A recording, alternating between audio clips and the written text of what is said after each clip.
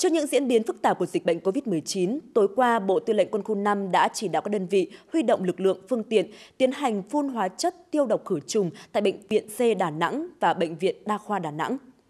Trước đó, Bộ Tư lệnh Quân khu 5 phối hợp với hai bệnh viện này xây dựng phương án thực hiện phun thuốc toàn bộ bề mặt khuôn viên, nơi đã tiếp nhận điều trị bệnh nhân số 416 và 418.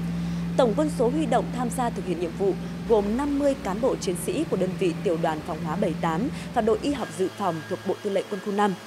Bộ đội tham gia được tập huấn sử dụng các trang thiết bị, phương tiện, đồng thời được hướng dẫn cách tự bảo hộ, bảo đảm an toàn khi làm nhiệm vụ.